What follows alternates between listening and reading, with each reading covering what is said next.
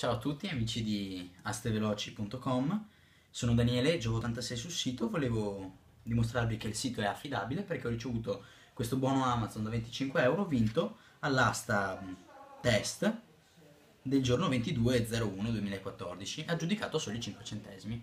Ciao a tutti!